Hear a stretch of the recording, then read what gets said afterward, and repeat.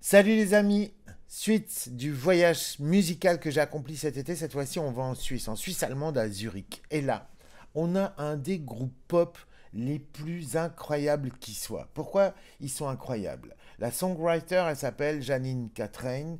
Elle a appelé sa sœur, son frère et des potes pour constituer un groupe, ils sont sept en tout, qui est d'une richesse harmonique et rythmique incroyable. Ils ont la maturité des grandes œuvres pop qui ont été très souvent accomplies sous la houlette de grands producteurs américains. Pourquoi je dis de grands producteurs américains?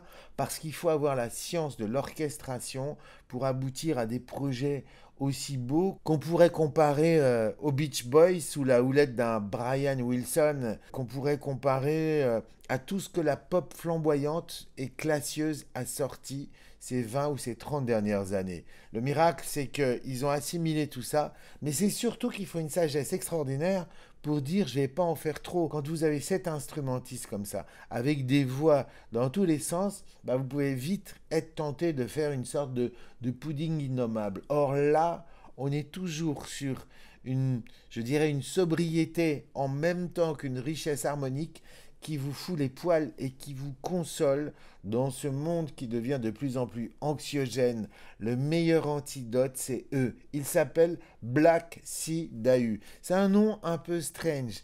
Euh, si on devait traduire ça, ce serait le Dahu de la mer Noire. Alors le Dahu, c'est cet animal mythique, vous savez, en montagne, qui euh, la légende veut qu'il ait une patte plus courte que l'autre parce que comme il marche à flanc de montagne et que pour chasser le Dahu, il suffit de l'appeler, il se retourne et bim, il se casse la figure. Mais là, ce groupe-là a décidé de continuer malgré des conditions qui sont de plus en plus dures pour des musiciens indépendants. En plus, la Suisse, c'est pas un gros pays, il n'y a pas des majors internationales, l'audience est plutôt euh, confinée, je dirais. Il y a des musiciens qui ont un talent de dingue, mais qui n'ont pas la chance d'avoir un grand pays avec un gros potentiel d'auditeurs. Ils voyagent énormément, ils font comme à l'ancienne, ils ont un minibus, ils s'entassent à 7 dedans, très souvent ils dorment dedans, et, ils font presque assez d'argent pour payer à peine, je dirais, les frais de transport et tout ça. Donc du coup, ils ont lancé un appel à leurs fans en disant, écoutez, si vous voulez qu'on continue, on a besoin de vous. Ça en dit long aussi, et c'est pour ça que je veux parler de ce groupe,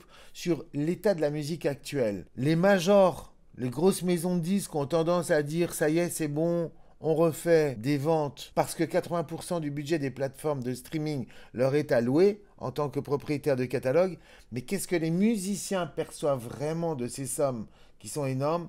Ça, j'en sais rien du tout. En tout cas, aujourd'hui, on ne peut plus vivre en vendant sa musique, en vendant des disques comme autrefois. Les disques n'existent pas, euh, même si euh, on dit que le vinyle revient, c'est pas assez, ça reste quelque chose d'anecdotique. Black Sea se déplace dans toute l'Europe avec leur minibus, mais j'allais dire, on, pourrait se dire du coup que c'est un groupe un peu bricolo, mais quand vous les entendez sur scène, vous avez une sorte de perfection. C'est comme si on écoutait euh, un disque symphonique avec des couleurs, avec des évocations avec une cinématographie, même si on ne comprend pas forcément les paroles qui sont pourtant en anglais, il nous transporte dans un monde. C'est une des plus belles rencontres musicales que j'ai fait cet été. J'ai eu la chance de les voir au bord d'un lac suisse, à Émosson, au bord d'un barrage. Grosse découverte. Ils ont le potentiel d'un énorme groupe.